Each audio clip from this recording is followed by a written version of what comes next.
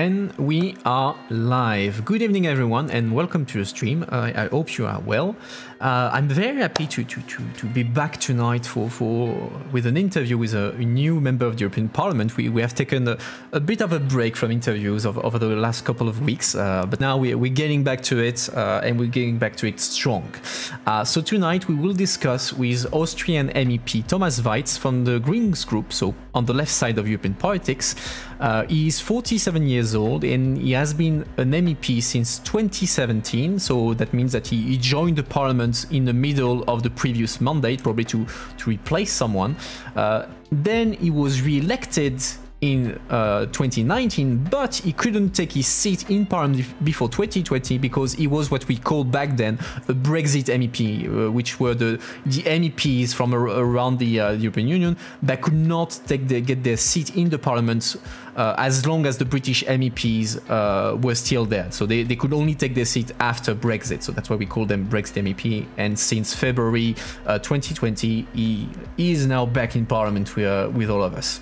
So he uh, now sits in the Committee on Foreign Affairs, the Committee on, on, Petition, and the Committee of Inquiry on the Protection of Animals during Transport. He's also a substitute member in the Committee on Agriculture and Rural Development and the Subcommittee on Security and Defense. But uh, as usual, before we start our conversation, I remind, I remind you the house rules for anyone who is new with us tonight. So, our guest will be with us for about an hour. After that, uh, he will leave and enjoy the rest of his, of his evening, while I will keep streaming for half an hour to discuss with you all about uh, what you thought about the interview, uh, my own interpretation of things, uh, other things that might need additional explanations, etc. etc. Uh, as usual, I prepared my own questions uh, for Mr. Waitz and I collected questions from people on Reddit and Discord. You can also ask your questions uh, via the chat. Uh, I will keep an eye on it and pick among your suggestions. So feel free to participate and react, but don't spam and stay civil. Uh, the goal of these MEP interviews is for you to understand better what is the job of an MEP, uh, who is Mr. Waitz in this uh, tonight, and what are his priorities, maybe some of his opinion on general EU political questions. Uh, I try to invite a, variety of MEPs so that they may share their own opinions that you and I may share or not. Uh, we may agree with them or not, but that's not the point. The, the aim is for you to see the diversity that exists in the European Union and build your own opinions, while my own role is to facilitate the discussion without taking a stand on the substance. So we will not go deep into uh, policy discussion and we will not touch uh, on national politics unless it is relevant to EU politics. So keep that in mind uh, when asking your questions. So without further ado, let's do this. So, uh, good evening and welcome to you, uh, Thomas Waitz. Uh, thank you again for, for accepting to, to do this interview on my channel. Uh, you heard me explain it to our viewers. Uh, the goal of tonight is to put faces on the European Union and help people understand better what is happening in Brussels. Uh, so tonight we will get to know you better and try to understand what you actually do and what you stand for and what you think about the EU. Uh, so perhaps, perhaps to, to start off our, our discussion, could you uh, briefly introduce yourself to, to, the, to the audience and we'll pick up from there. Yeah, thanks for inviting me. Uh, my name is Thomas Waitz, and by profession, I'm an organic farmer and uh, organic beekeeper and permaculture forester, uh, a mountain farmer in the south of Austria, uh, half in Slovenia. So I also pay taxes to Slovenia, and I'm I was joining the Greens uh, in the late 90s uh, on anti-GMO movement. I'm very much coming from the NGO sector. I did a lot of education, event planning, campaigning, but also a lot of political work on agriculture agriculture, environment, animal welfare, and all of this. Uh, originally, I was politicized more in the left uh, as a youngster, or some may call it radical left. Uh, which uh, still has some um, has remained uh, uh, as a part of my political identity. Uh, and now I'm in the European Parliament since uh, 2019, again elected uh, since 2020, as you mentioned already. After Brexit, I joined the Parliament, and uh, you mentioned already the committees I'm working on. But as I'm also one of the two co-chairs of European Green Party, uh, I work actually to all European, not only European policies. Uh, so just ask whatever you would like to ask, and I will try to give answers uh, if I can. Perfect. That's that's exactly what we're here for tonight. So you actually anticipated uh, my, my first question. I was going to ask you about how you came up into politics and later became an, uh, an MEP, but you already answered that. So if I understand well, uh, you you came from from the trenches, from the ground, uh, from the uh, from the mobilization through NGOs. That's a that's a, a bit your your how you got into politics and later on how you became a, uh, an MP. But my then I will modify a bit my question. Um, since you, you come from the uh, from the ground, from uh, from uh, from the trenches of uh, social mobilization, etc., and we know that there is usually a big mistrust in NGOs and uh, in all the, in this world towards politicians. And how did you overcome this mistrust and decide, okay, to change something, I have to go in there? Well, as, as long as you work with an NGO, you can uh, actually stick to the topic that is close to your heart. Uh, you can raise a lot of public attention. You can actually influence politics sometimes more than you expect. But at the end of the day, to really bring change uh, uh to the world and, and to the ground, uh, you need to enter decision-making processes. And uh, at a certain point, uh, you need to take over responsibility and uh, uh, tackle and, and counter the, the, recent political forces, which are what I thought going into the wrong direction with our societies and especially with our environment. Uh, so, so I, I, started to be engaged and within the party, but also as an elected member of different levels of parliaments and I, I, found out that I can combine that very well. I, I, stayed an NGO person in a way because a lot of my work that I do is very closely linked with the NGO sector. And sometimes that's obvious, but sometimes you don't see that because that only happens in the background. Okay, interesting.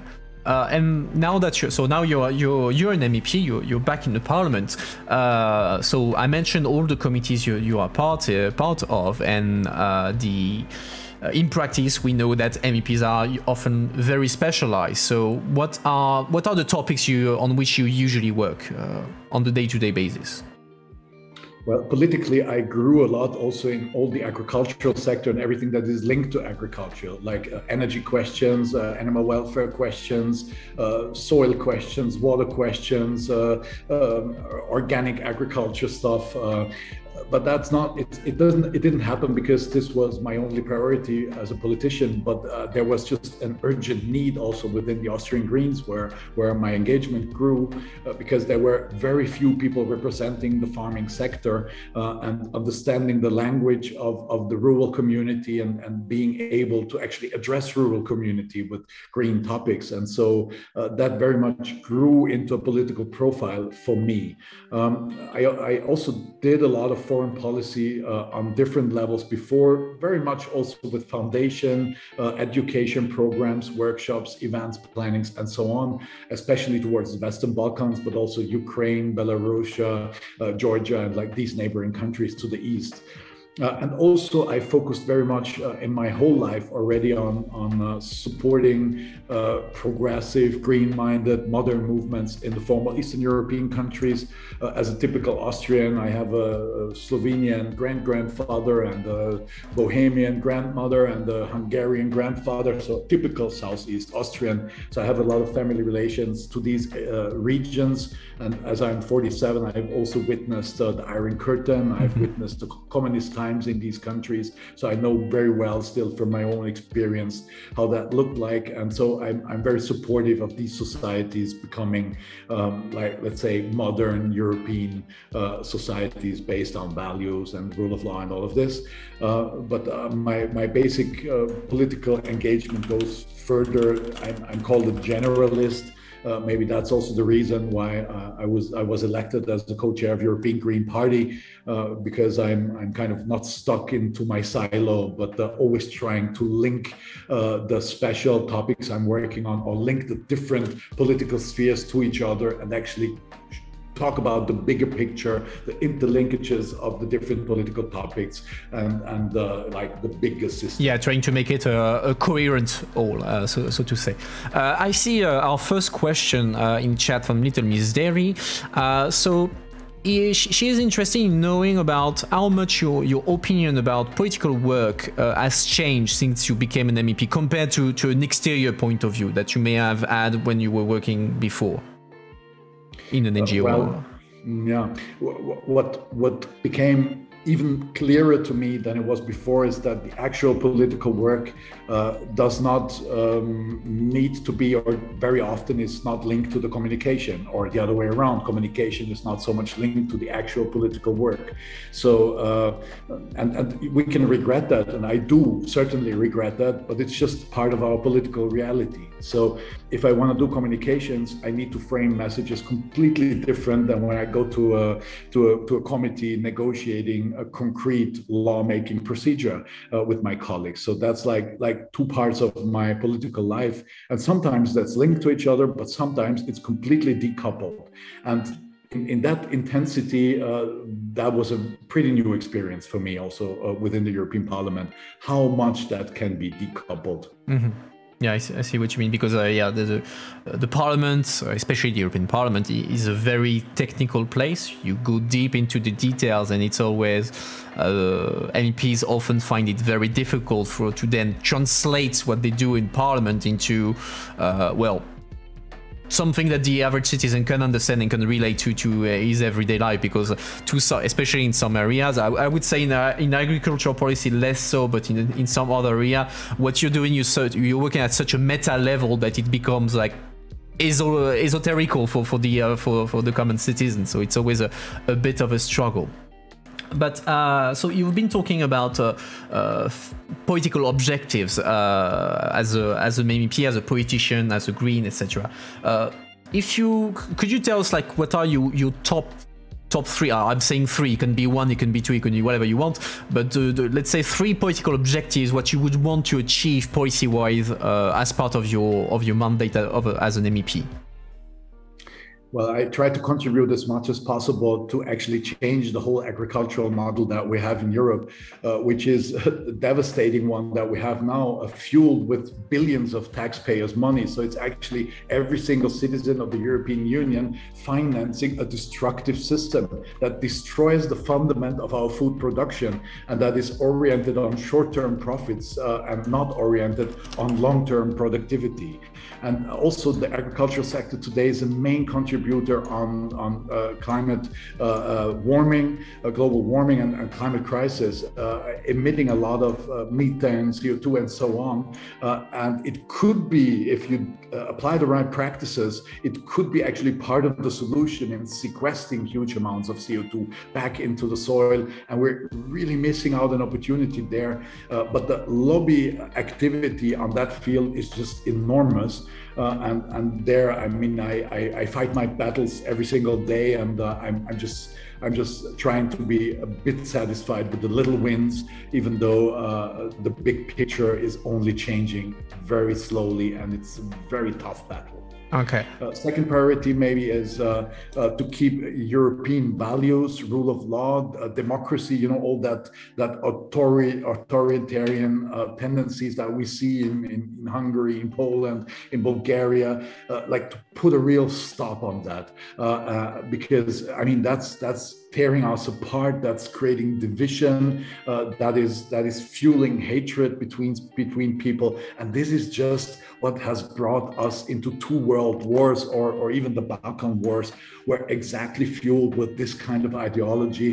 Uh, and I, I really tried to do my best to defend european values and european also rule of law uh, uh and then independent justice and media freedom as much as i can across the union Okay, uh, that, that's pretty clear. Uh, I have another question from Tubo in chat, but that relates more to foreign policy. So since we are go we're going to dive a, a, bit on agriculture, I'm going to reserve that question. I've seen it, Tubo but I'm going to cover it in a, in a, in a few minutes. Uh, but I, have seen it, and we're going to answer it in a few minutes. So uh, since we are on agriculture, uh, so that's that was the perfect transition to the question I already prepared. Um, so, as you you you uh, you said, uh, agriculture is a topic in which divisions and controversies are often intense, and especially when it's uh, it's taken in combination with environment uh, policy. Uh, and one campaign that has been very vocal over the, the, the last few months uh, and I would say rather radical to an extent, uh, is about asking the withdrawal of the common agricultural policy. So, for the viewers, uh, the ag- common agricultural policy is basically uh, the EU money that goes to the agricultural sector, to farming, and which represents more or less 30% of the overall EU budget. So the basically the campaigners they, they, behind this initiative accuse the current budget, uh, agricultural budget, of not being environment friendly enough, and so that the only solution is to kill it and start again from scratch. So where do you stand in this debate, in this controversy? I exactly support that campaign. Uh, that proposal was still built uh, from Hogan, Commissioner Hogan, in the last term, uh, and it's it's not reflecting uh, the new policies around the Green Deals, which which uh, tries to uh, push Europe uh, towards a transition uh, to CO2 neutral economy.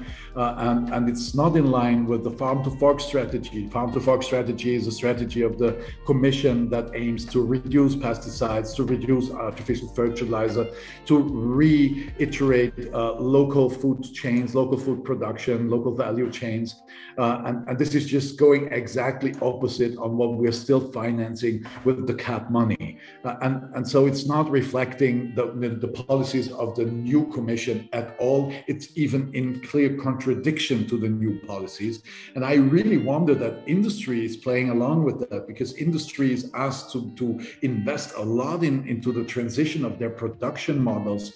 Uh, transport is, is, is, is uh, asked to, to invest huge amounts uh, of money into the transition, into rail, into uh, alternative uh, motor, motors, and so on on, and they, that they accept that the agricultural sector is still allowed, no, not just allowed, but supported with billions of, of taxpayers' money to actually increase the damage on biodiversity and increase the damage on climate and even does not deliver on healthy food, rather the opposite. A lot of the food that we get has remains of pesticides. It's full of, of, of industrialized uh, substances, aromas, uh, uh, additives of all kinds. Uh, and, and so it's even causing another damage on the health sector. Uh, and, and so from a, from a socioeconomic perspective, uh, it's, a, it's a complete failure. And to, to try to negotiate some kind of green fig leaves uh, into that old structured cap, which is basically spreading the money over the landscape, uh, cannot work. And, and also second problem is that, that, I mean, you get the money for the hectares you have. And that actually uh, leads to EU taxpayers' money being poured into the pockets of the very wealthy ones, international investors oligarchs, like the 10 best friends of Mr. Orban, and so on. So we're actually fueling the decrease of, of, of real farmers, as I say, in the countryside. They can't sustain their businesses anymore, but they're the more sustainable ones. They're the ones that offer more workplaces. They are the ones that are working closer to nature and closer to their fellow citizens in the countryside and in the cities. And they're, they're closing their farms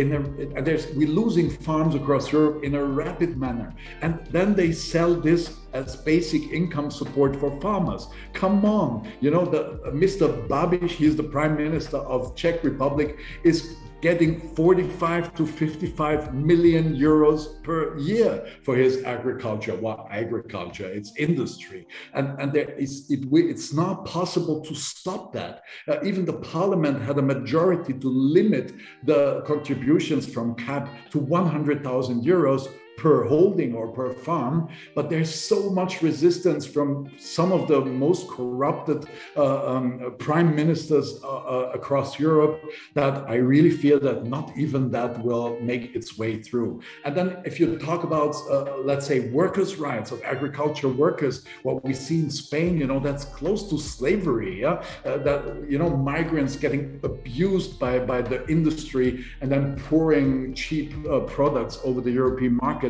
from a human rights perspective, this is just ridiculous. And we're still funding these kinds of enterprises with millions and millions of taxpayers' money, and that just needs to stop. We need a 180 degree turn on agriculture policy. Everything else is neither coherent nor fit for the future.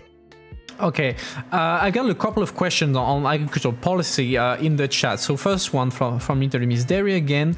Um, so a question is: Farmers says that they do not have the tools to be more sustainable. What is you What is in your opinion uh, the tools available for the farmers? Come on who is saying that? I mean i'm a farmer myself. I know my farmers community. I mean most of these people are well educated today. Uh, let's let's I, I, give you an example huh? uh, we, we're talking a lot about herbicide use about glyphosate and so on. Every single crop farmer in the European Union knows how to do weeding in a technical with technical uh, machinery. Every single farmer knows how to do that but it's just you know it's not supported by the by uh, not supported enough by the by the um, agriculture fundings.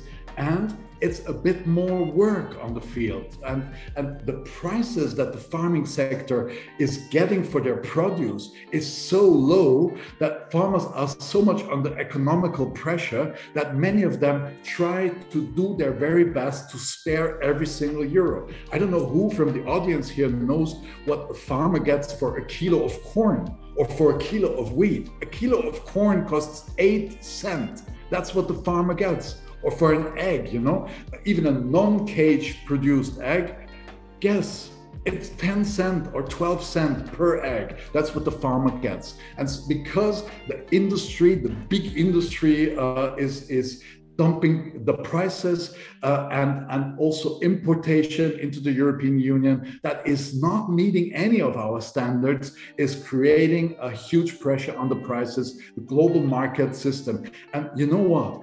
Cap money was in the first round in the 50s, it was there to provide Europeans with food. Yes. But since the 70s or 80s, it's only there to make European agriculture fit for competition, competition on the world markets, which is by nature impossible because we have higher labor costs, we have higher environmental standards, animal welfare standards. We cannot produce for world market prices. And that's why we need your taxpayers' money to be to pay the farmers. And farmers are living mostly from subsidies. They are not earning on their produce. Yeah? And just to keep the farmers alive, your tax money is taken that some huge companies, multinational companies, can make their revenues on the world market. It's a big cheat.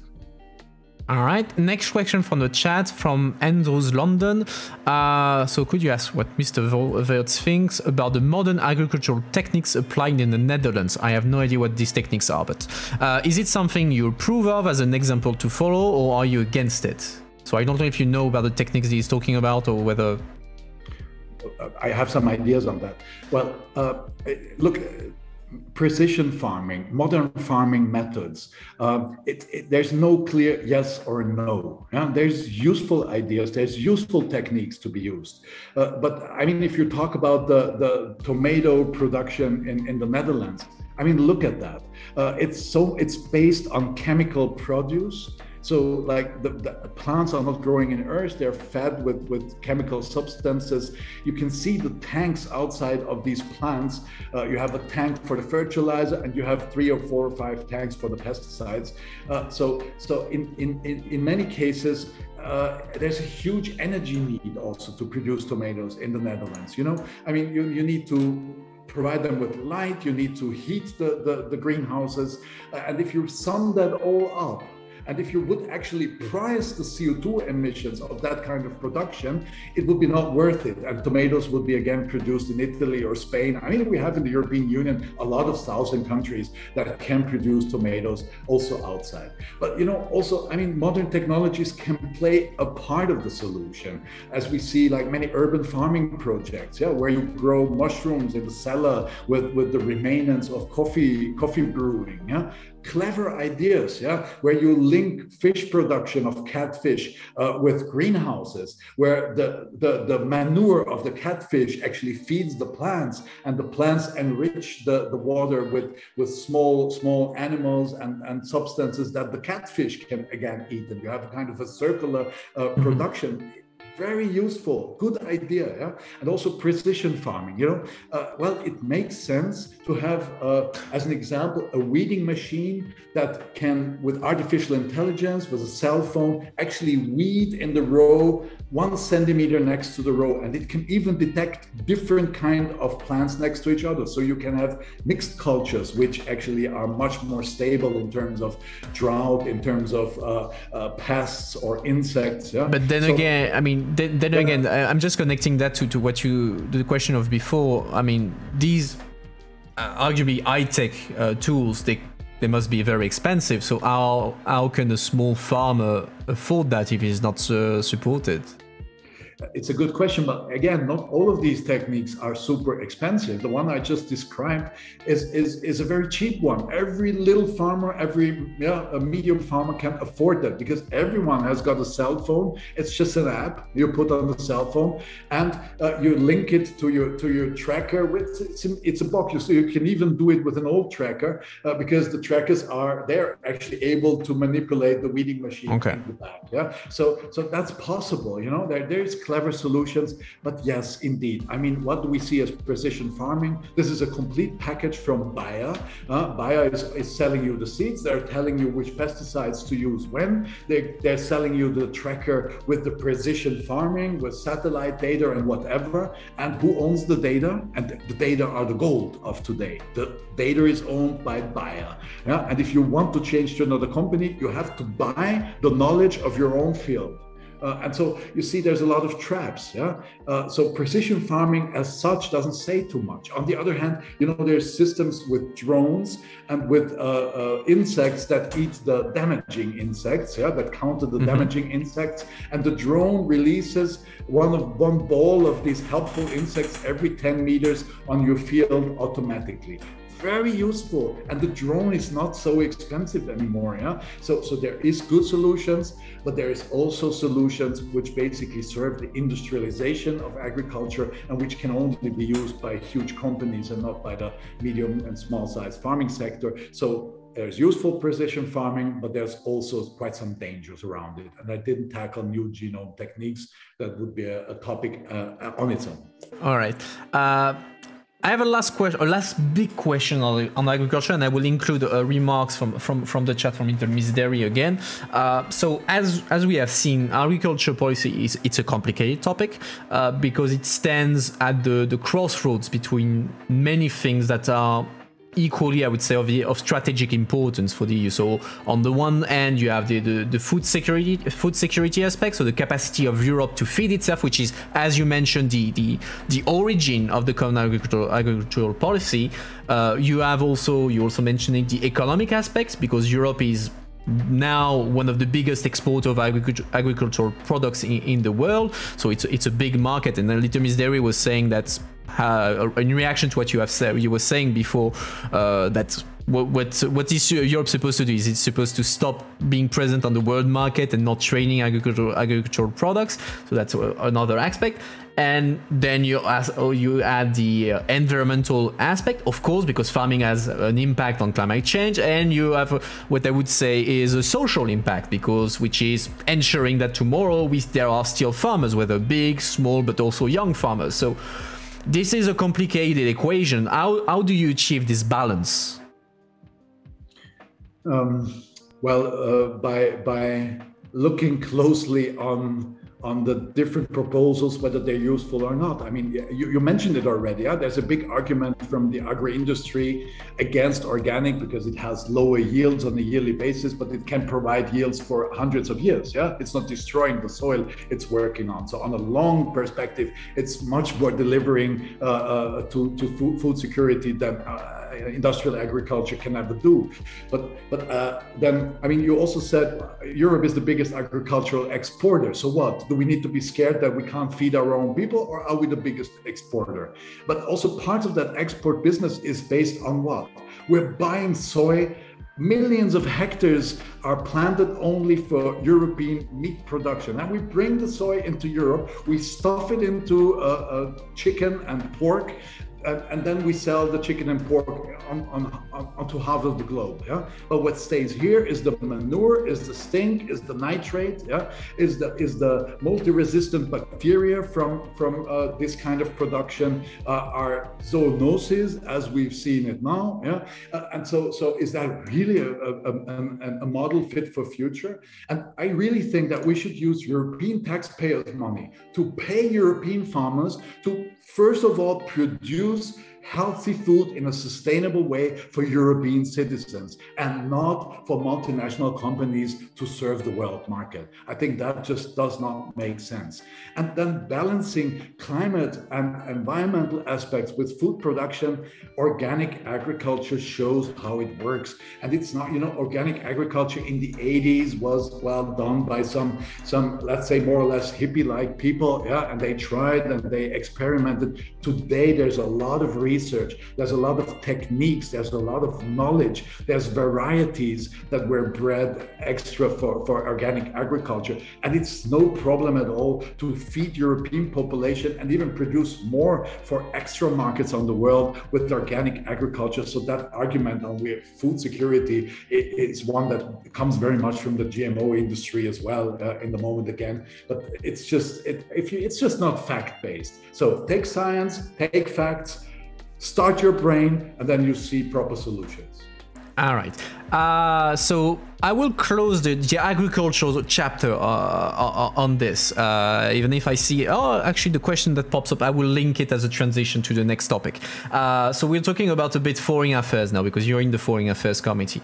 Uh, and usually the, the, the, foreign affairs is not a topic that you, that you instantly, uh, instinctively linked to the Greens, uh, especially in the context where we have uh, now very aggressive actors like Russia or China that don't exactly play by the rules. So, how, as a Green, you, you deal with this with this stuff?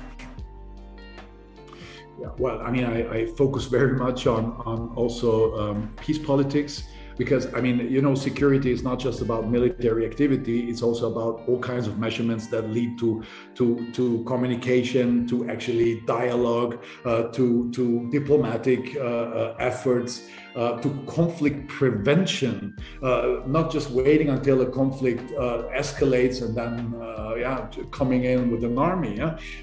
most of the conflicts can be can be prevented from escalation with much cheaper costs Uh, uh, beforehand. Uh, and, and, so there I see my priorities, but also very much linked to global trade policies uh, and what does that do to, to our, not only the planet, but, but how are we structuring it actually? Is this on eye level? How, is this a fair relation between countries? and, and, and how is that linked with our foreign policy goals?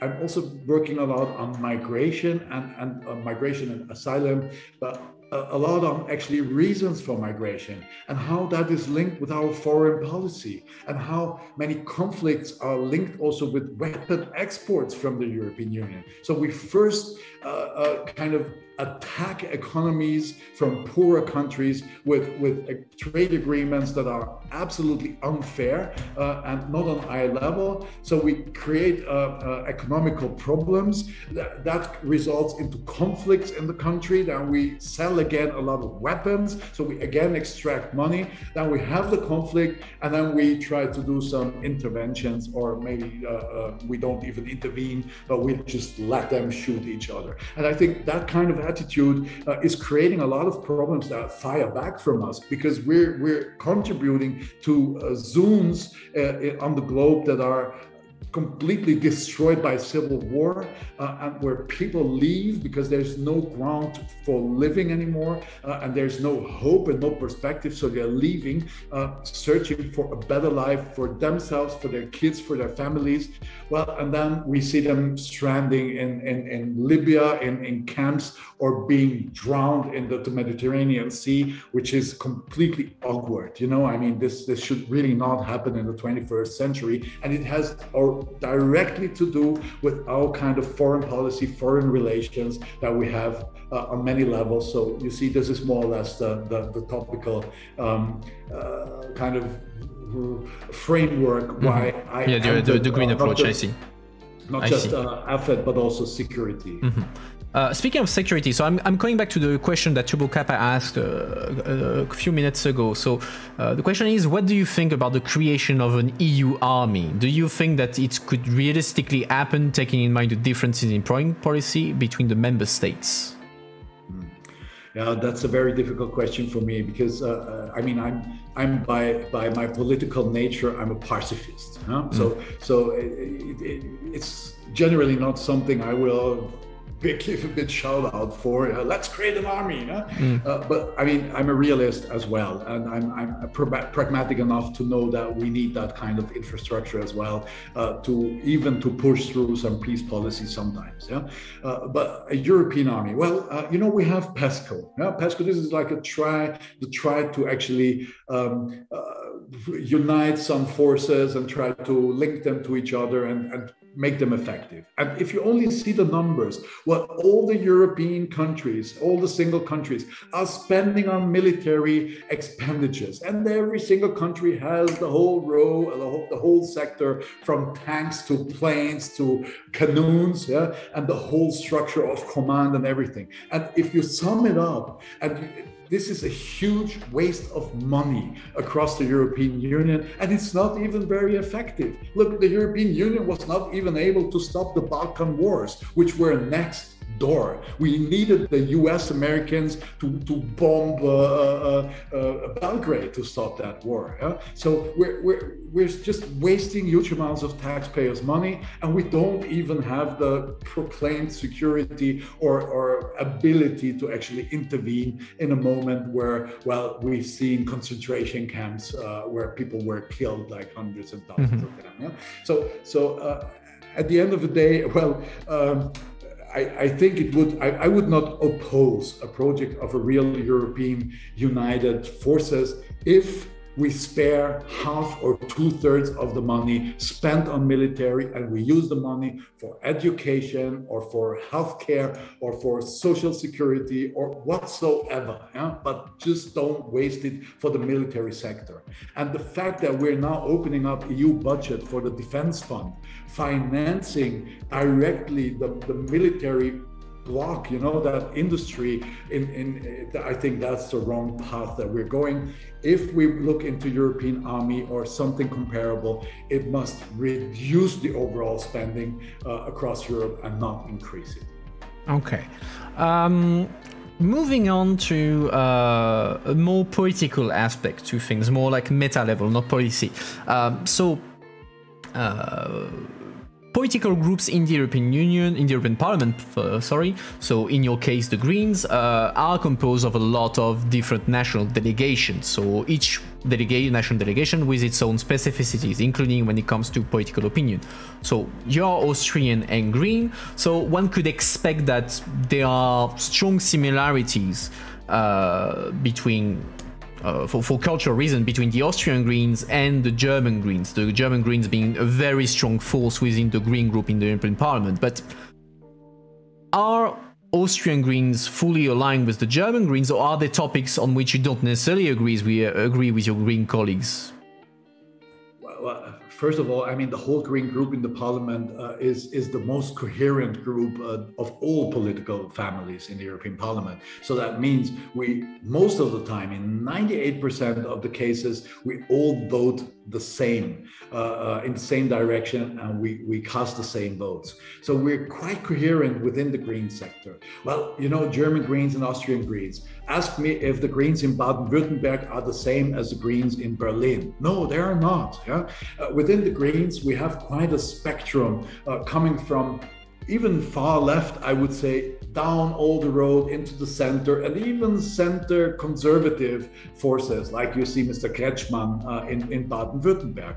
But there's like there's some differences there, yeah. Uh, but like the key issues that we're standing for, the key battles that we're fighting, we're very, very united, and it's it's very rare that we really disagree on topics. We had some disagreements on on uh, data protection and and you know all these upload filter stories. And there were some greens that were more on the side of the artists, and there were other greens that were more on the side of free internet. Uh, in any case, but you know it's, it's really only very minor issues where we different where we differ from each other. So we're we're quite in one line. And even if that may surprise you, historically Austrian Greens are at the left of German Greens, even though we're in that kind of crazy coalition.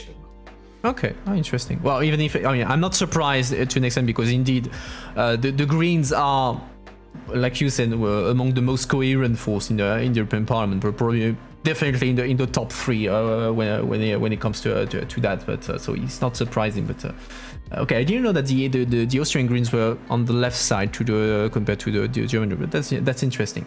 Um, I'm coming back also something to the, you said at the at the beginning of the stream on, on your own experience. You you said that when you arrived in in the, in the Austrian Greens, you were among the few people in the Greens that had a farming background, knew how to speak to uh, to, to farmers, etc., etc. How how did you get the Greens to to, to get into uh, a sector to talk to people that well are not their natural allies, so to say? I mean, Austrian Greens are, are a green party that is relatively strong for quite a while already, for 20, 25 years. Uh, and uh, and it, it, as all the green parties across the European Union, they originally stem from a very urban movement, very knowledge-driven, academics-driven, uh, um, uh, rarely any workers, rarely any farmers. But if you want to actually extend your voter space on a certain moment, you have to look into that part of society. Of and in fact, if you see the proposals that Greens do uh, uh, on, on, on, policy and on lawmaking, they're, they're in many times much more social than social democrats. Uh, and, but people just don't realize because nobody talks to them. And uh, if you want to talk to workers, and my father was rail worker, you know, my mother's from the countryside. So I didn't grow up in a wealthy environment. I'm also not an academic. Yeah? Uh, so if, if you want to talk to, to that part of society, you'd rather find people that know that society from within and that are able to formulate a message and formulate green political uh, um, demands in a way that this can be understood. Because if you start with a very academic description of what you want to try to explain, and you have a lot of uh, Latin words in it and so on, within seconds, you know, the, the, the perception of, of workers. Yeah, you lost everyone. Actually closing. And, mm. and, that's, that's, that's something where Greens really have to look into, integrate uh, more workers, more farmers, more bottom up people. And does that lead to, to, to difficult discussion where you, you have some time to uh, to manage the expectation of people who are more academic to tell you, well, in reality, on the ground, what you're saying would not work, or that would not be acceptable for farmers, or you need to tweak this or that, uh, or is this still like a that there are no doesn't cause any clash, so to say? Uh? No, I mean, I, for me, it doesn't cause any clash. I, I, I, mean, I, I know universities only as a as a speaker, yeah, from mm. inside. Uh, but I like to go on universities, and I, am perfectly fit to also enter an academic discussion uh, because you know I'm, I'm, I'm, working on knowledge base and on of science base, and I, I, read a lot and I studied a lot, even though I have no certificates for that.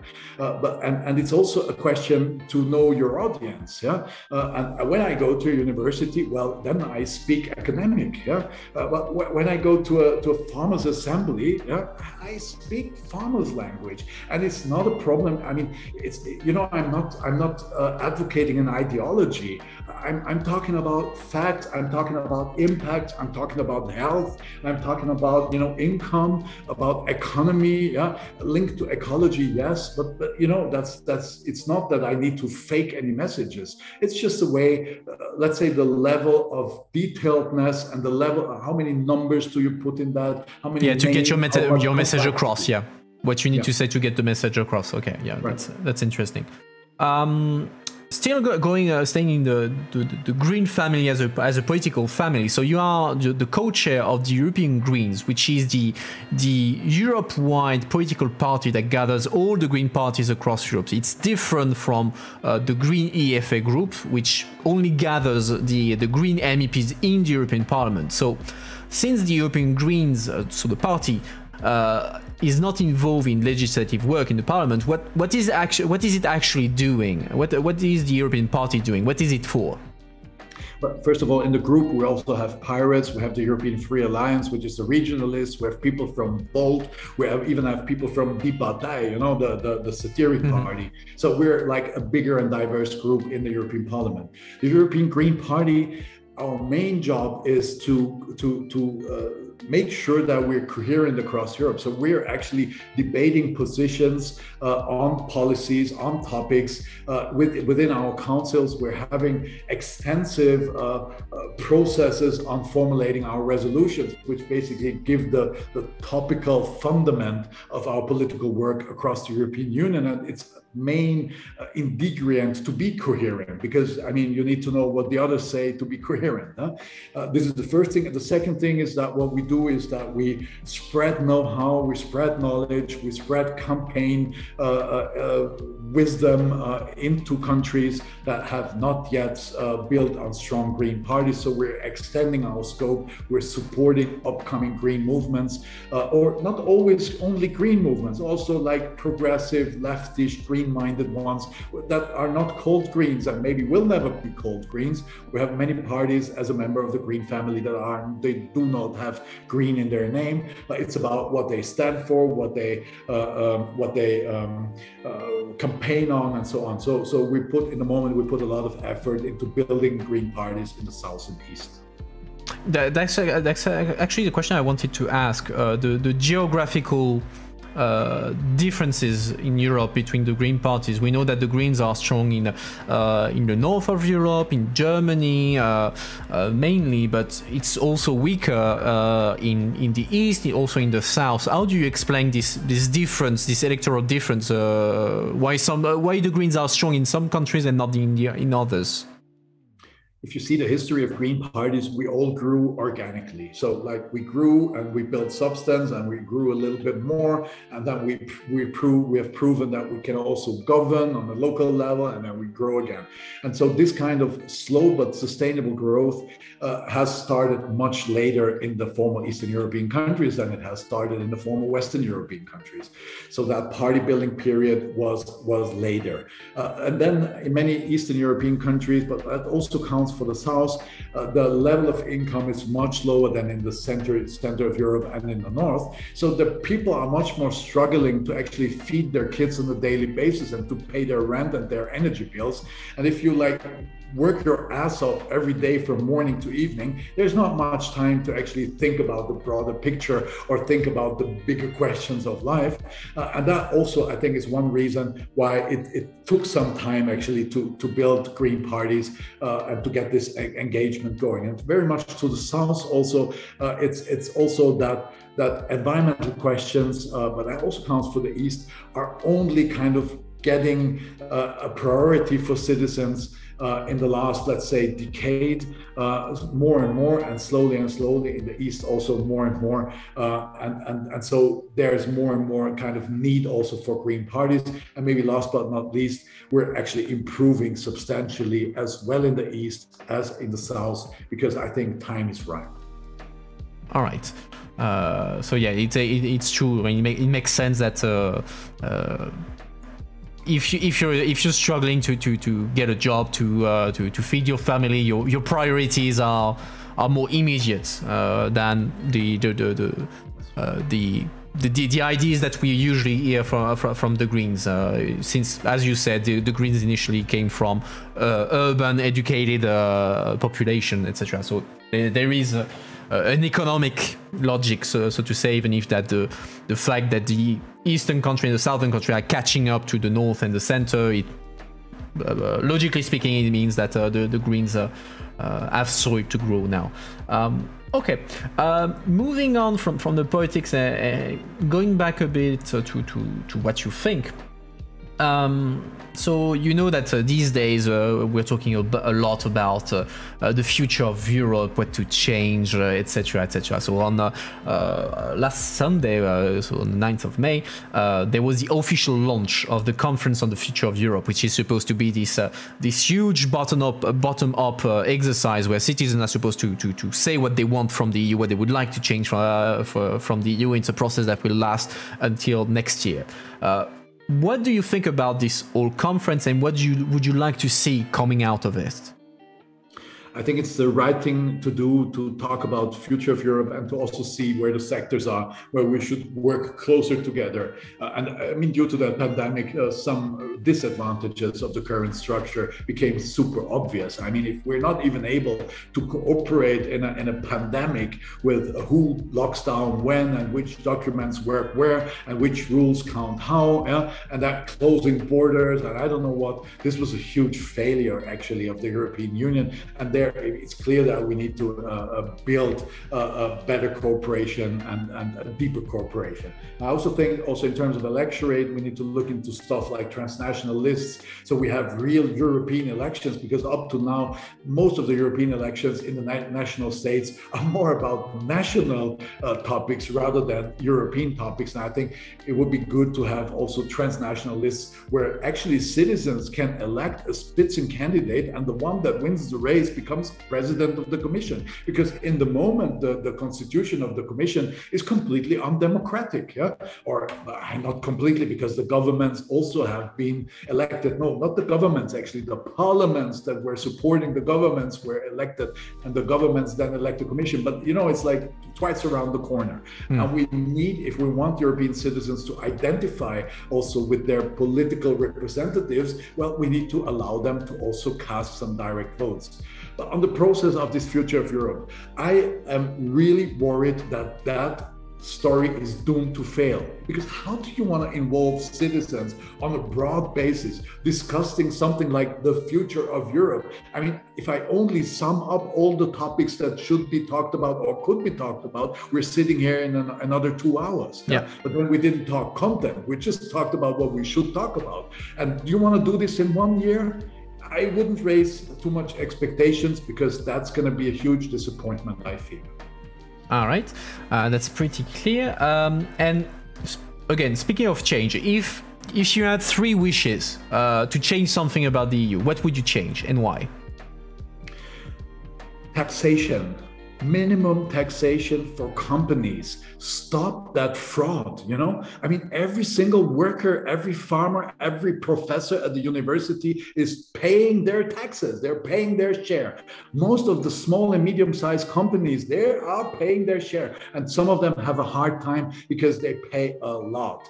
And the ones that are super wealthy and the ones that grab more and more of our profits are just escaping across the ocean or into some some tax havens yeah?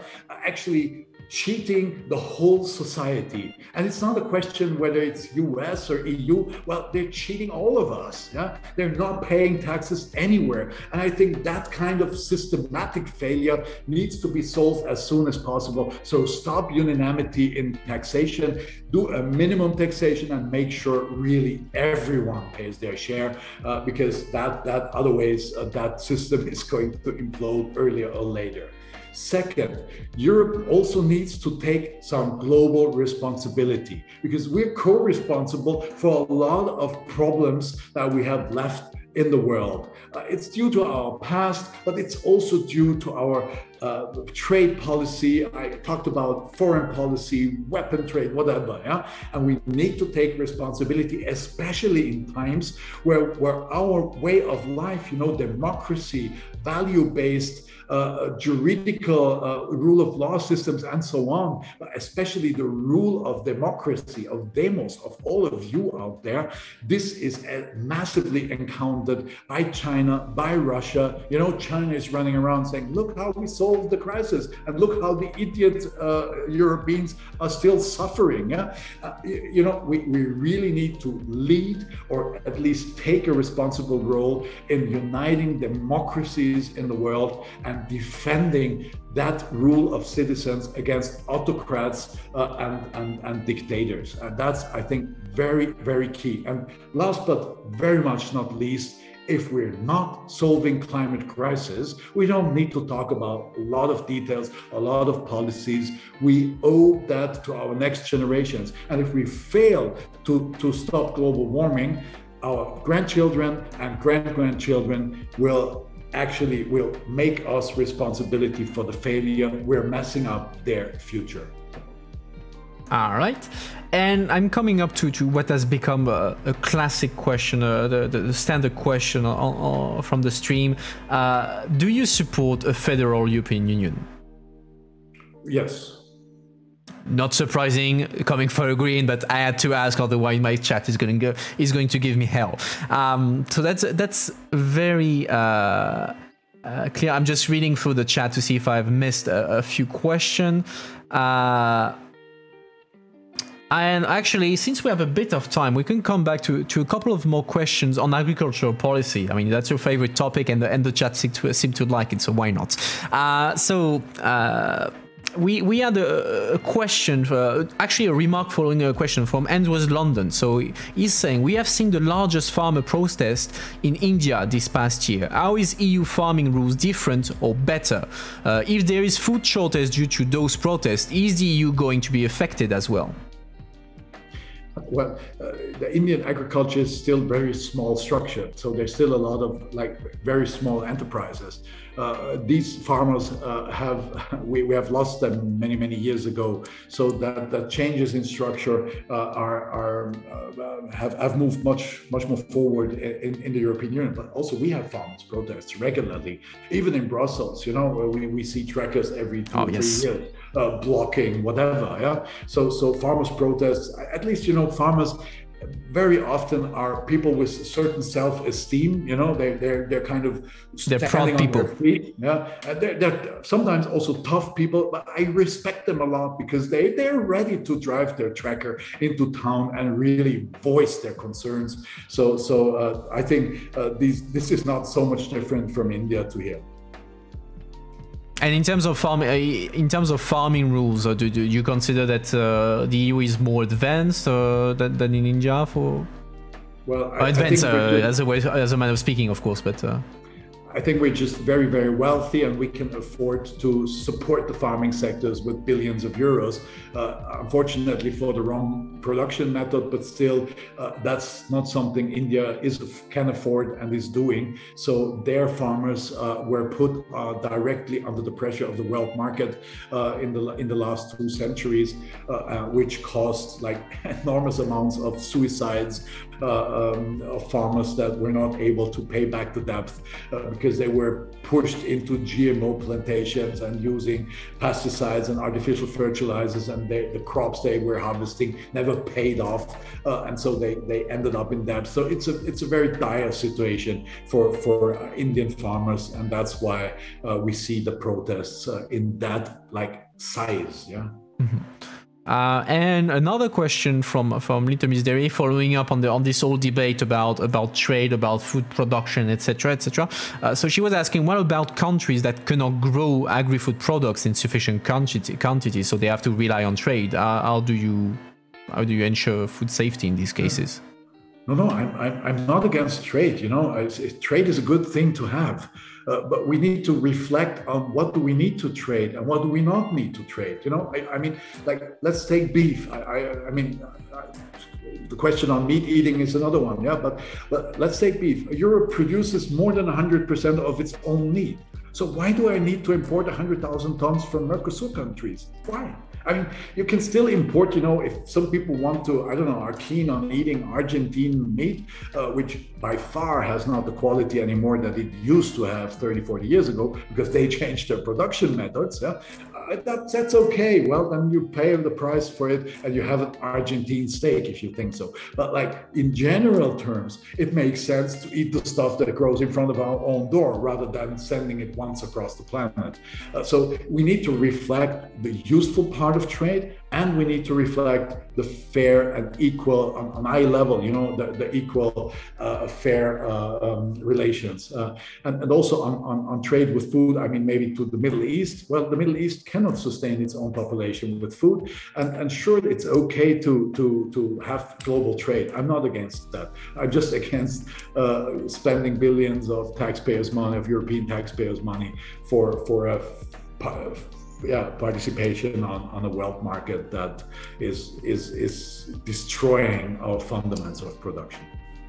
All right, and I mean you you've been criticizing. Uh, uh, agriculture not agriculture but the, the big farmers the the the, the, the agro you know, the agro food industry uh, but i think i mean Speaking of trade, uh, the, I think you would agree with them uh, uh, on Mercosur because they've been quite critical about uh, uh about Mercosur. So Mercosur, for those of you who don't know, uh, is the South American bloc of countries. There is a, a trade agreement that that has been concluded on paper that needs now to be to be approved uh, or is, has it been approved now? I'm lost with all this trade trade, trade agreement. I'm, lo I'm lost. Uh, yeah, it has been it has been approved. Uh, but there, there was a, a, lot of protest from the, the agricultural sector because they say that uh, there there would be unfair competition from the the, the, the, the South American production because they are, they don't have the same standards. They are, uh, and that would be unfair competition to the to to, to the, the European farmers. So I suppose you would agree with uh, with this that trade in this in this specific case is dangerous for for European farmers. I imagine. That's just a part of the concerns, and it's a very specific one. So. And luckily, Mercosur is not uh, approved yet. Uh, it still yeah. needs to go through the Council. It still needs to go the, through the European Parliament, and I believe it still needs to be ratified by all uh, European state parliaments. So the battle is not over, and I think we can still win it. And yes, the concerns of the farming sector uh, I support them because I mean, sure, we cannot raise uh, the, the, the production standards further and further and further within Europe and still allowing free trade imports that are not meeting these standards by far. Uh, that concern I, I, share, but my bigger concern is on, on the way that the way these countries are treating international treaties like a Bolsonaro uh, government in, in Brazil, they don't give a shit about international agreements. They sign them, but they don't fulfill them. They actually do the opposite. You know, I mean, there he's he was encouraging illegal loggers to go into the Amazon and to burn it down, granting them. Uh, uh, freedom of, of prosecution. Yeah? Uh, you know, as long as countries like Brazil and others are chopping down the Amazon forest and by that increasing the danger of climate collapse, and, and, they're not respecting the Paris Agreement, which they have signed. Uh, how does anybody think that uh, non-binding nice words in such a Mercosur agreement, which can which cannot be enforced on, on, on environmental questions, on climate questions, will anyhow work you know? And also on, on social issues on, on human rights issues. We, we, especially brazil but also argentina. We've got huge landlords still from the colonist times. I'm not talking about a thousand hectares or 10,000 hectares. I'm talking about farms with hundreds of thousands hectares yeah? Landlords that basically own the country that have their own paramilitary armies that are chasing farmers away from their soil that are hunting landless people that are providing jobs. It's not jobs you know? It's like close to slavery uh, uh, conditions you know why, why, should we fuel that? And with even bigger imports of, of soy and beef yeah but for soy and beef the amazon forest is chopped down and burned down. So how can we do a, climate policy within Europe, really aiming to make Europe CO2 neutral at a certain stage, and at the same time do a free trade agreement that is just fueling the problem. This is a complete contradiction, and that's why I think that kind of trade agreement is just ready for the bin. And still on trade agreement, I have Icarus in the chat that is asking about your take on the uh, the EU-China investment agreement that is also uh, a big topic uh, and that is now for now de facto defunct uh, dead in the water because the China decided to to sanction uh, uh, a number of of MEPs actually, among other people. So. First of all, it was a very anti-democratic procedure between France and Germany to decide on negotiating that. Second of all, the agreement is bad because the Chinese are selling stuff to us like advantages which they have sold to us twice already, and they have not met uh, uh their, their their their requirements of what they have signed up on. Like like they would allow uh, European investors that invest more than one billion euros so guess who that is? Yeah. So for medium-sized enterprises, that's completely useless.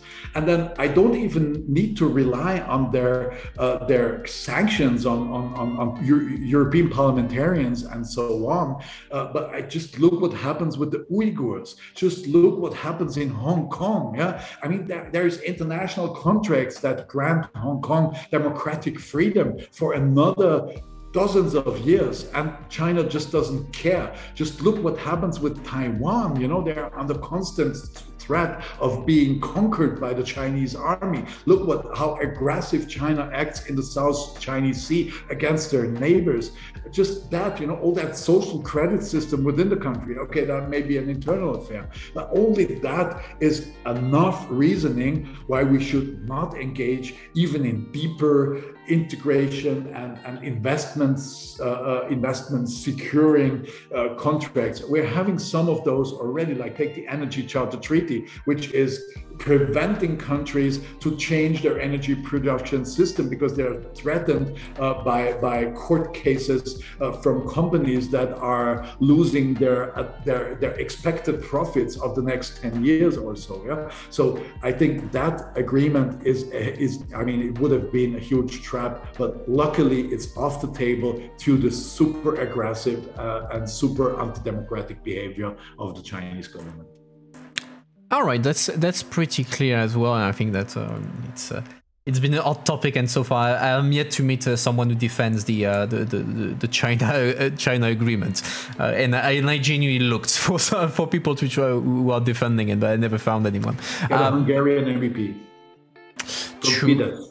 True, because today uh, we learned that uh, Hungary actually blocked in council declarations against uh, against China because China has been uh, at this practice of I don't want to say buy the loyalty, but to invest heavily in the in infrastructure in some countries. We've seen that in Greece with the uh, with the, the, the the biggest port of the country that has been literally bought by China. There we've seen a big investment in uh, in Hungary, in Czech Republic, if I'm not mistaken, as well. Uh, so yeah, Ch Ch China has been investing big in there, and that's also what triggered a bit uh, the uh, uh, the worries about the EU, at least some member states, about that. Uh, I don't see any more questions in chat, and it's been already an hour. So what I will uh, I will ask you, Mr. Waitz, is to uh, I will give you the last words.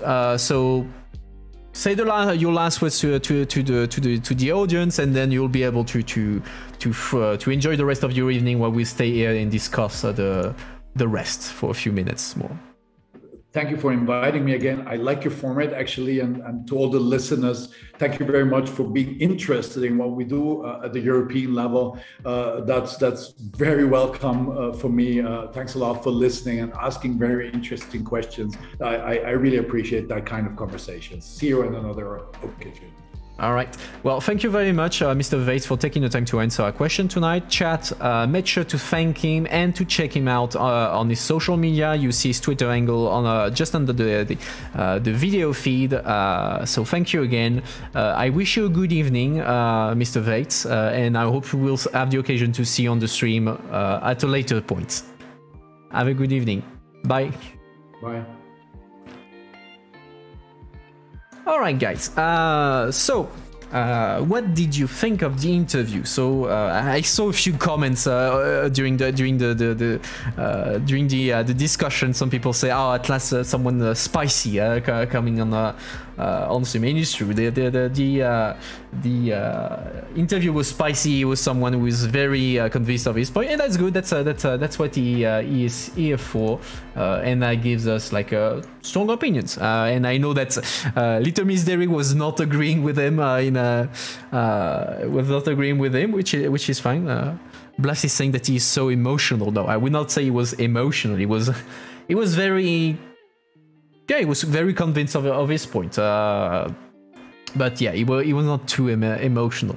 Uh, the Belgrade bomb hit you a bit hit you off guard, uh, Icarus. Yeah, so the but actually that's a, that's that's a good uh, a good point. Actually, I was uh, I was wanting to to to to cover that as well. So uh, yeah, I mean here we, we went back to to a more uh, classic uh, kind of uh, kind of green uh, MEP. Uh, I, I I'm trying to find this. I, I don't want to say aggressive because he was not aggressive. He was assertive. He was assertive about uh, about his point. Uh, like uh, like Mr. Miss Dairy is saying right now in chat. Uh, you you could feel his NGO background is very much uh, militant about what he think, which is which is fine. Again, huh? it's uh, it's not an issue and. Um, but it was interesting also that uh, at the uh, uh, at some point during the conversation he was saying that well, he had to make this transition uh, between his NGO practices and then going in the parliament uh, where he had to work on policy and it's not he had to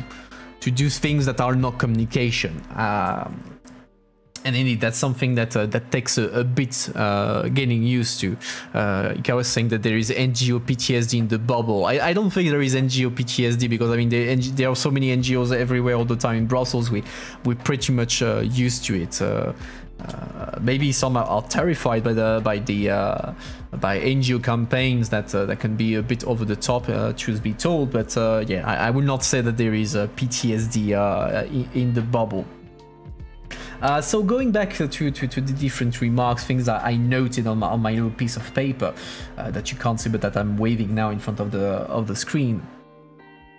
Uh, I've seen Icarus. Icarus thought I, I didn't see that in the chat uh, about the common agricultural policy. That uh, it's basically about giving money to France for for for the French farmers to an extent that was true because uh, it's true that uh, it's going to be story time because actually uh, the, the, the common agricultural policy is indeed uh, a big French request. It was created initially for France to pay for the for the French farmers because well uh, it's not it's not exactly a surprise. The, the, the French farming sector was the biggest and is still uh, the biggest uh, the, the biggest agricultural sector in Europe, uh, and it led to to quite epic fights uh, in uh, in Europe where literally France in the in the 60s decided to not attend any kind of council meeting until they got their way on the uh, on the on the, the, the cultural agricultural policy. Uh, I think it, it lasted for a year until the until the other country gave up and, and gave the French what they wanted on the uh, on the agricultural policy, and it was for the very long time the by far the biggest uh, budget of the EU. I mean, at some point it was 60% of the budget uh, uh, alone. Now it's more close. It's closer to to to 30, 35 percent, but it's still one of the biggest policy uh, for for for Europe. But uh, indeed, a lot of money goes to uh, goes goes to France, even if it's not as much as as before. But Gotta say that he would never dare to tease French political interest, or if only I could believe you. But that's fine again. Uh, something that he that he, he said I, I, thought was a bit exaggerated as far as I'm concerned. Uh, when we were he was we were talking about foreign policy and how uh, basically the EU contributes to uh, to war by uh, uh, through its trade agreement, where he says that the, the trade agreement that the EU is is is concluding are so unfair that they, they are causing conflict and war. That's I mean I, I can hear the argument about trade having an economic impact, but I would not go as far as to say that. Uh, oh, sorry, I'm I'm dying right now. I'm back alive.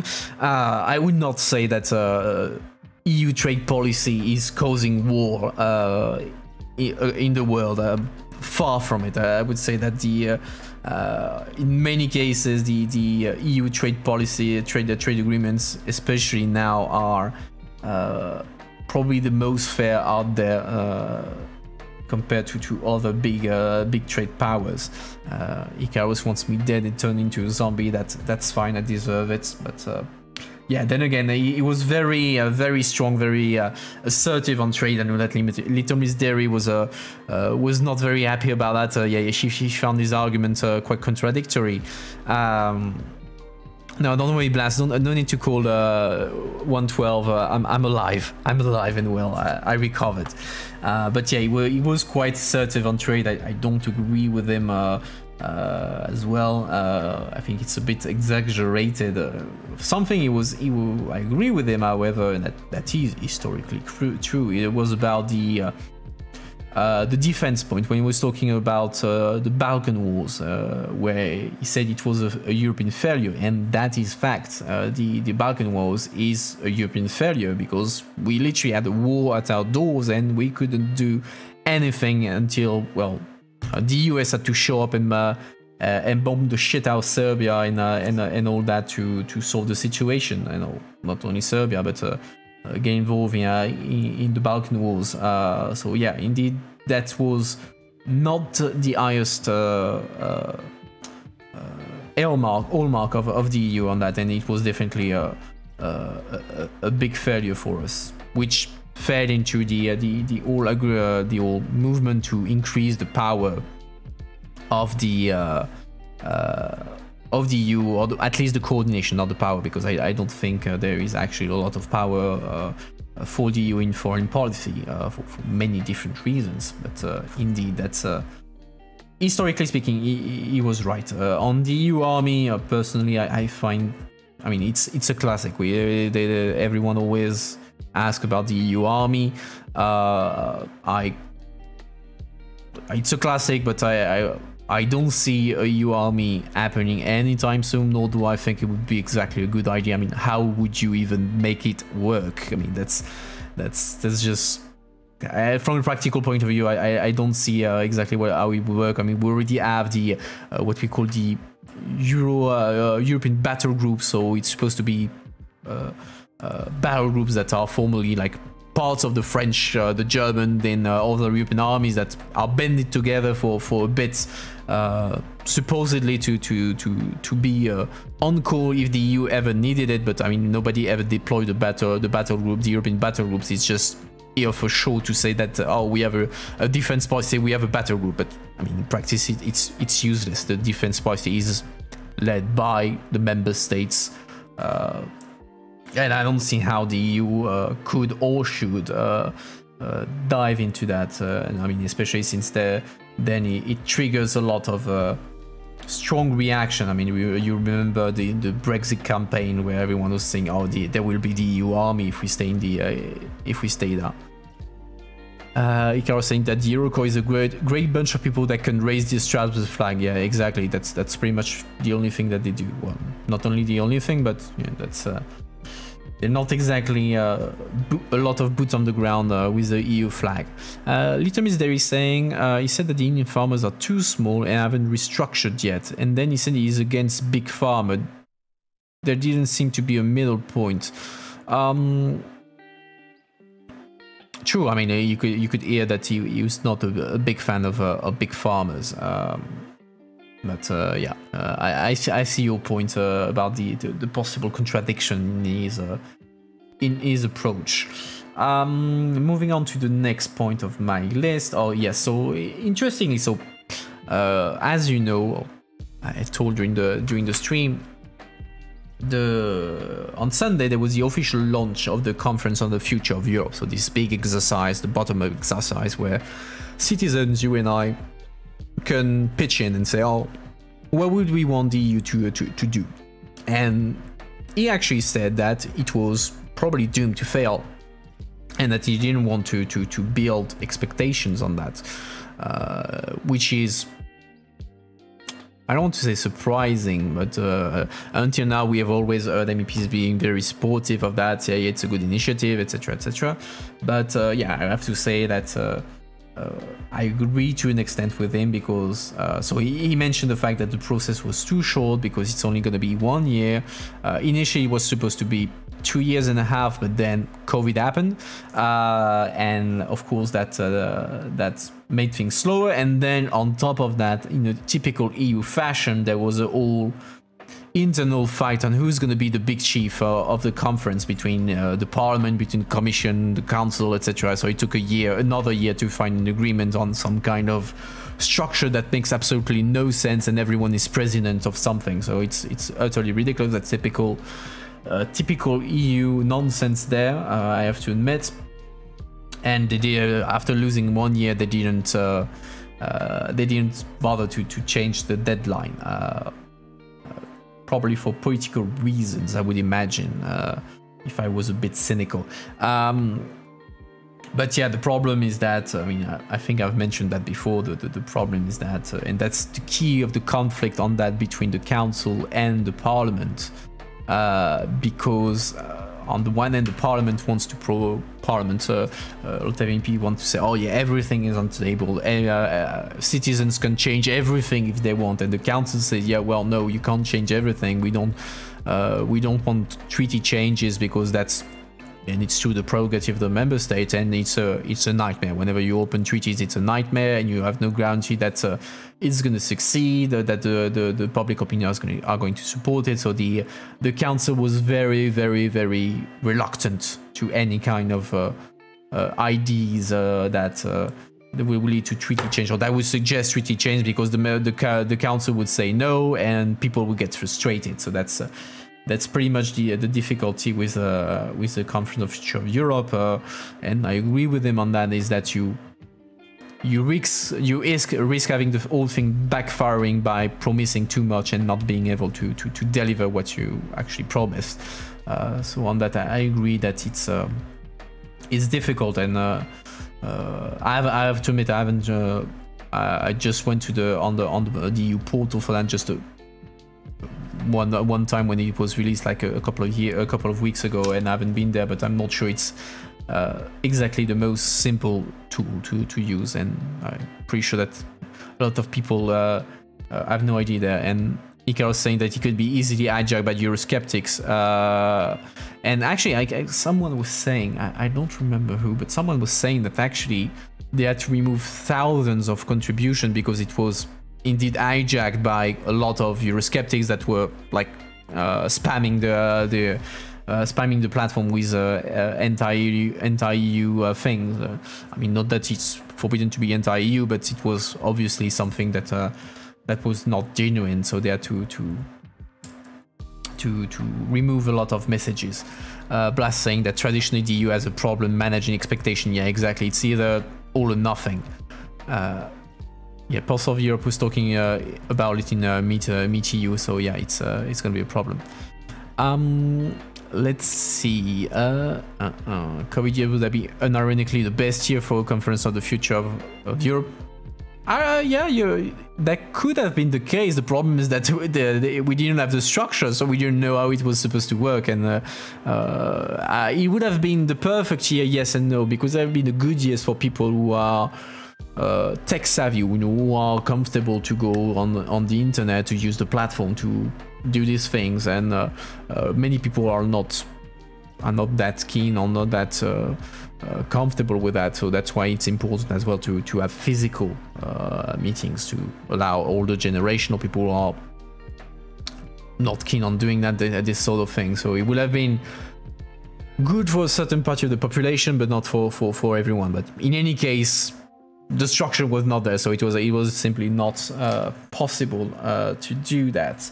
Uh, and finally, yeah, on China, uh, it was on fire, uh, rightfully so, uh, I would say. And this this deal is is pretty much dead in the water. I'm I kind of disagree with him saying that it was a, a all big plot of the of the French and the German. I mean, the, the other member states approved of it. definitely the uh, the Germans uh, pushed this deal very hard because the German companies and notably the uh, uh the uh, automobile industry is very much implanted in the, implanted in, in China and they, they, they, they, would very much welcome the protection of their investments. but yeah, it's I would not say that it was a plot from the French and the German to, to push that through. The, the, other member states uh, definitely uh, agreed to that, uh, even if I think it suits everyone that now the, this thing is getting killed. Um, Little Miss Dairy is saying, uh, oh, you have something else that you noted back on the agriculture side. Uh, farmers are famously older, so less understanding of digitizing too, so apps or drones are difficult to implement. True. That's true, and uh, I mean, that's something I, I very briefly mentioned. One of the key problems in farming today is that, uh, A, we have less and less farmers, but we have less and less young farmers, uh, and that's that's a big issue. Uh, so uh, if you don't have farmers, uh, well, whether whether big or small, you you're gonna have a problem. Uh, that's that's for sure. Um, and as you say, uh, many farmers today are older, so not necessarily. into the, the, the, big tech kind of kind of tools and using drones and this kind of this kind of thing. So I agree that implementation of that, uh, I mean, it's fine in, in countries like uh, the Netherlands or uh, or even France for that for that matter. For that matter, I I would be doubtful whether it would be manageable uh, in, in, the Far East or uh, Far East in the in Eastern Europe, uh, for for for instance. but well, uh, let's see, did I have anything else uh, on my little piece of paper? I think I covered uh, most of it. Um, did you guys uh, notice anything or any remarks, things that you you, uh, you like, you didn't like about uh, about his interview, about what he said, additional information or, or all on that? I know that Little Dairy was very frustrated uh, about that. Uh, I mean, I, at some point, uh, uh I, am happy you didn't react it, but when you said, "Oh, who, who dares to, to to say that in chat?" I was like, "Oh shit." Poor Little Dairy getting uh, getting attacked for, for asking a question. uh, Icarus was was happy. It was a good interview. Yeah, it was spicy, like spiciness. Um, but okay, uh, let me check, uh, going back to, to, to, my conclusion, because I think we, we can wrap up at, at this point. Uh, we, we don't have a, an obligation to do half an hour. Uh, and it's, it's time to go. Uh, so I hope you you enjoyed the interview. Uh, he was happy about it. He liked the format. That's perfect. Don't hesitate, as usual, to give me feedback uh, on Discord or on Twitter. The, the links the links are in my bio as usual. Next week, uh, we are going south uh, with an interview with Italian MEP Brando Benifei from the Socialist Group. However, and that's the important part, uh, the interview will not be on Tuesday as usual, but on Friday at 6 p- uh, 6 p.m. Uh, Brussels time. Why Friday? Uh, because next week is a plenary week, so usually it's it's more complicated for MEPs to be free in the evening. So next Friday, 6 o'clock, interview with Brando Benifei. Um, was a good interview, but agriculture is close to your art and very frustrating. Often have these comments from the green. Yeah, it's usually explosive, explosive uh, topics whenever we're talking uh, about this. Uh, I mean, he was assertive. Uh, that that's part of the game, and uh, I mean, well, one day we'll try to to have people who have different opinion. So as always, uh, I've liked, uh, I enjoyed the interview. Uh, don't for those of you who are new with us tonight, uh, don't hesitate to follow me here on Twitter and on Discord. Uh, it always helps the channel. The links in the are in the uh, in the bio. And on this note, I thank you all again for being here tonight, and I will wish you all a good night and see you next week. Have a good end of the week, guys. Bye.